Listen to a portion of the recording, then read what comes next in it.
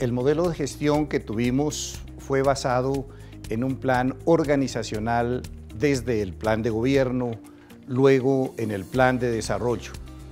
La organización, la dirección y el control permanente para sacar adelante todas las metas que nos habíamos propuesto. Creo que lo más importante, lo más destacable, a pesar de que hay muchas acciones, mucho trabajo, mucha creación de infraestructura, lo importante para nuestros ciudadanos es la acción social que se desarrolló.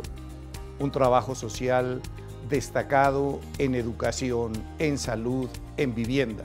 Tuvimos la oportunidad de visitar todas y cada una de las comunas, de los corregimientos, de las veredas y escuchar allí a la gente en sus preocupaciones más grandes. Y allí hubo un énfasis en cerrar las brechas.